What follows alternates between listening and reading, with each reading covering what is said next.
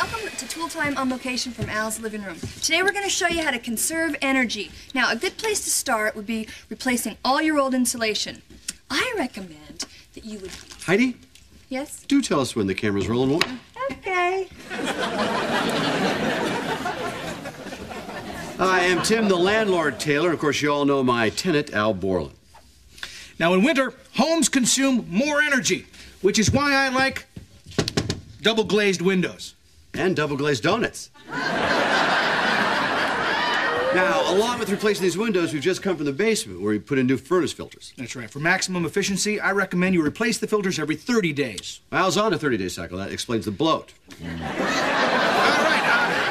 Uh, next up, next up, we're uh, we're going to look for the greatest source of energy loss in a home: air leaks. Right. And you can usually find a good one underneath the front door. That's right. And to simply fix that, put in a door sweep as a barrier. An easy do it yourself fix. Hmm, Let's get to work. All right. Ooh, Al, I see another draft. it's a cold one.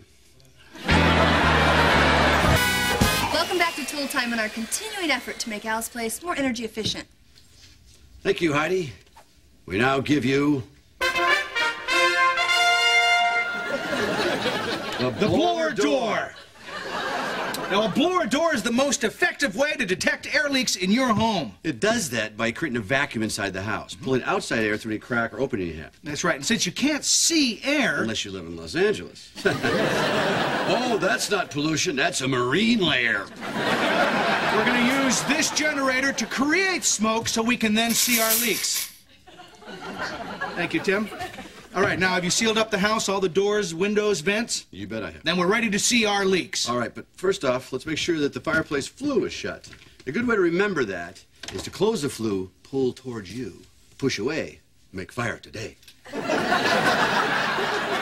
My grandfather taught me that. All right, Tim, why don't you go outside and crank up the smoke? Can you turn on the blower?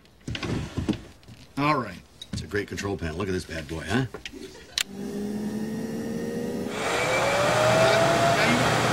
You might not want to tweak it that high. The faster we tweak, the faster we find our leak. Grandma told me that one. All right. Now we'll just seal this up. Now wherever we see smoke, I'll just mark that with my adhesive and we'll caulk and seal the leak. All right, here's one. Pretty common place for it. Smoke will come in under the siding there. Turn off the fan. Tim probably wants me to turn up the fan. No way. Al, I was wrong about the flue. To close the flue is push away from you. Close the flue. Uh, well, boy, that would uh, defeat our purpose, wouldn't it? so we'll, uh, we'll just close that up there. Seems to be stuck.